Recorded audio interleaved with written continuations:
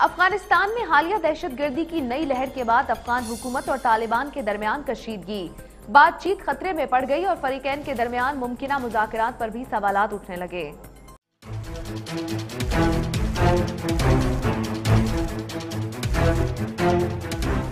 गैर मुल्की खबर इदारे की रिपोर्ट के मुताबिक अफगान हुकूमत ने तालिबान के खिलाफ अपनी कार्रवाइयाँ तेज करने का ऐलान कर दिया है, जिसके बाद फरीकैन के दरमियान दूरियाँ मजीद बढ़ गई हैं और बातचीत खतरे में पड़ गई है। रिपोर्ट के मुताबिक अफ़गानिस्तान में होने वाले हालिया हमलों का इल्ज़ाम हुकूमत ने तालिबान पर आयद किया, जबकि जंगजुओं ने मस्कूरा हमलों की तरदीद करते हुए लाताल्लुकी का ऐलान किया है।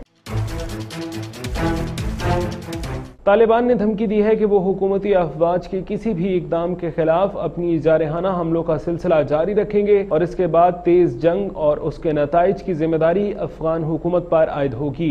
फरीकैन के दरमियान इंट्रा अफगान मुजाकर मुतव थे, लेकिन हालिया हमलों ने बातचीत पर सवालिया निशान उठा दिया। आलमी तजियाकारों का कहना है कि हाल ही में अफगान हुकूमत और तालिबान एक मेज पर नहीं बैठेंगे।